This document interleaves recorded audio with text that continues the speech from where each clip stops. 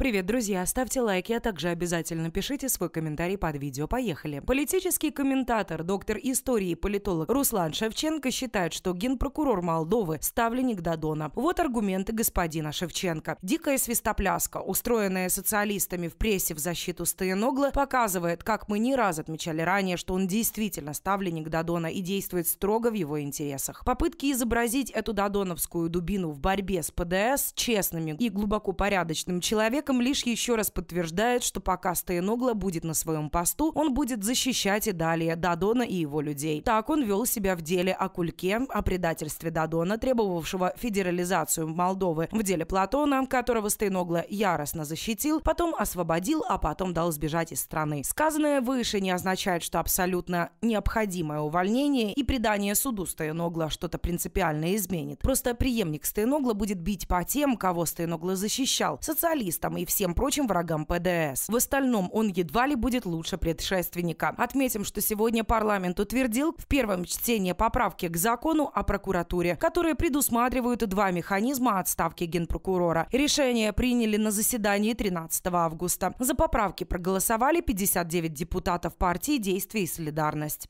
Что за поправки? Законопроект «Действие и солидарность» предполагает, что в закон о прокуратуре внесут два новых законодательных механизма, которые позволят увольнять увольнять генпрокурора. Первый механизм связан с оценкой деятельности генпрокурора. В законопроекте это называют оценкой достижений. Оценивать будет специальная комиссия при Высшем Совете прокуроров. Такую комиссию могут создать по требованию президента или трех членов Совета прокуроров. Комиссию должны создать в течение 10 дней с момента обращения. В нее войдут пять человек, которых предложит президент, Минюст Высший Совет прокуроров, Высший Совет магистратуры и Генеральный прокурор. У членов комиссии должно быть не менее 10 лет опыта работы работы. Но в комиссию нельзя будет включать прокуроров и чиновников. Комиссия сможет допрашивать любого прокурора и сотрудника прокуратуры, требовать с любого человека письменные объяснения. Также комиссия сможет привлекать к работе независимых экспертов и проводить аудит, в том числе менеджмента учреждения. Как подчеркивается в законопроекте, допрос генерального прокурора обязателен. Законопроект предусматривает систему оценок генпрокурора от «очень хорошо» до провала. В случае провала Высший совет прокуроров должен уволить уволить генпрокурора. Второй механизм предполагает открытие дисциплинарного производства против генпрокурора. Его, как и в случае с оценкой деятельности, могут начать по требованию президента или трех членов Высшего совета прокуроров. Но на этот раз в специальную комиссию войдут сразу два члена Высшего совета прокуроров и один представитель гражданского общества, которого предложит президент. После дисциплинарной проверки генпрокурору могут вынести предупреждение, выговор или уволить. У спецкомиссии при этом будет возможность отклонить требования привлечения привлечь генпрокурора к дисциплинарной ответственности. Это решение можно будет в течение 10 дней обжаловать в Высшем Совете прокуроров. Кроме того, проект поправок предполагает, что состав Высшего Совета прокуроров снова уменьшит с 15 до 12 человек. Из Совета планирует исключить самого генпрокурора. На этом я с вами прощаюсь. Подписывайтесь на наш канал, жмите на колокольчик, а также не забудьте написать свое мнение в комментариях. Теперь газета всегда с вами. До встречи.